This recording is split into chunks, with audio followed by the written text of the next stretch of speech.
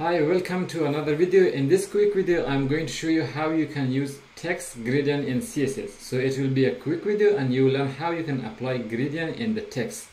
So let's start and I'll come to my browser here. So in CodePen, I have created a pen here. I will put it in the video description. Also, you can access. Here I have a basic like document and here is a quote I have copied from internet. And now we are going to apply gradient into this text uh, the first thing you have to know is like I have also applied like a custom uh, font here. So that should be fine. I'm going to generate a gradient because uh, gradient like picking color is slightly like difficult and it will take some time. So you can use um, css gradient.io for generating. They have a lot of examples here.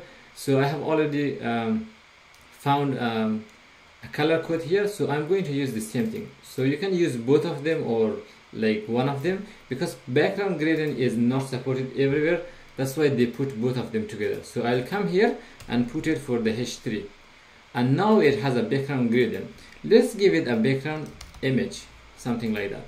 And it will work the same way. So background image it has a gradient of text.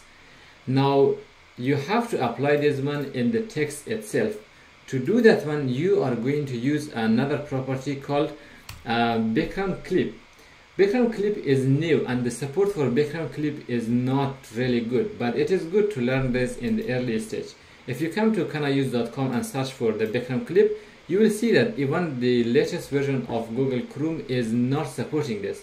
So uh, we can use like the prefix and it is going to work just fine. Since I'm using Chrome and I will prefix it, it will it should work just fine. So let's come to our example here and I'm going to come here and say this should be background clip.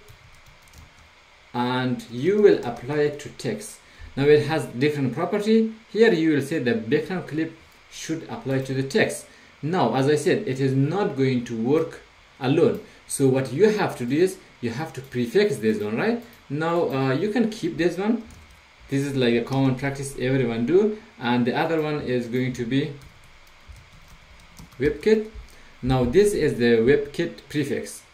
Once you apply this one you can see the background gradient is gone. Now you have to do another thing. Now the text color in here should be transparent. So if you want to do that one again you are going to use the text fill uh, css property to make the text uh, color in here uh, transparent. So I'll come here and I'll put again. We are going to use the WebKit because this one is also not uh, quite like supported by most browser. So we will use the text fill color and we are going to say this is going to be transparent. Once you apply this one I hope I have oops it has a typo. It should be transparent. And once you apply this one you can see your gradient is now applying directly to the text so it is that easy to do this one. Now if you uh, search for the text fill color property in caniuse.com again you will see the browser. Like most of this browser is not supporting like text fill color currently is not supporting. Except for Firefox which was supporting most of it. Like Chrome is good Safari and most of it does not support so it is not supported on all browsers but in the early stage it is good to learn.